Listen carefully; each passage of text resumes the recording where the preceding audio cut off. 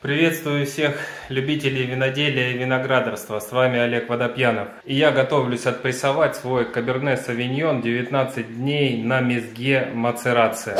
Здесь у нас где-то было около 23 брикс. Прекрасный виноград, присланный мне Александром Шишкановым. Привет!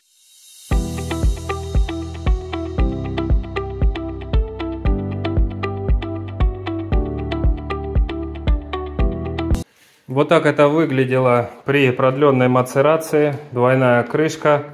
Точнее, функции крышки на себя взяла вот эта тарелка, а непосредственно плавающие крышки довольно плотная клеенка пищевая, которая защищала вино от окисления.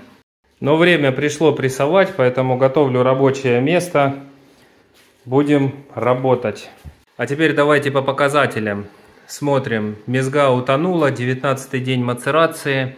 И Алексей в чате продвинутых виноделов говорил о том, что мезга тонет при температуре ниже 10 градусов Цельсия. Сейчас вы можете видеть 13,3 градуса Цельсия, 19 день мацерации, все отработало. И по другим показателям 992 с половиной, суши не бывает, все четко по показателям. Камера немного не передает, но на самом деле это такой Каберне Пино-Нуарчик. Здесь не было никакого кровопускания. И уже э, оно розовое и полупрозрачное. По дегустационной оценке аромат приятный.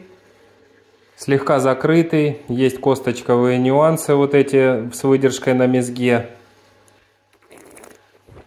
Хорошая кислотность.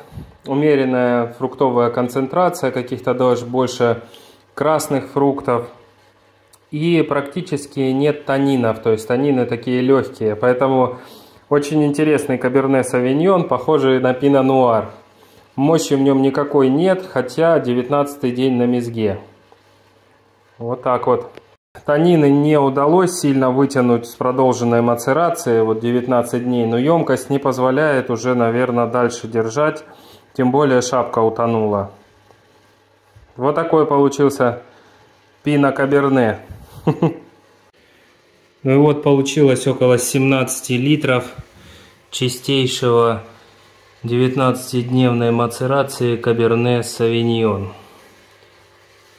Очень нужен для переливок 15-литровый бутыль, для того, чтобы как раз при снятии осадков все было четенько для хранения.